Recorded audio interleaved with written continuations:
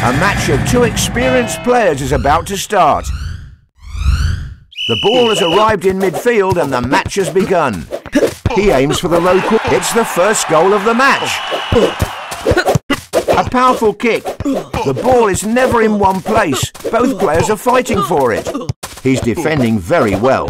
He's keeping the ball on the ground to confuse his opponent. Good save. Both players are showing great reflexes. He's waiting in his penalty area for his opponent to make a mistake.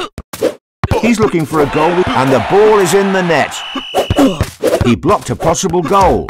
He needs to shoot better if he wants a goal. He's defending very well. He tries another low shot. Great reflexes by the player. They still have their superpowers. The score can change at any time.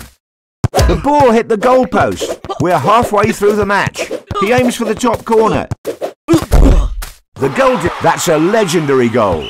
Into the penalty area. That's a fine header. He's like a warrior who doesn't let anything in.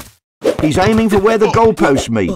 The la he drilled the ball into the... Superpowers can easily change the trajectory of the... Amazing goal. They still have their superpowers ready to go.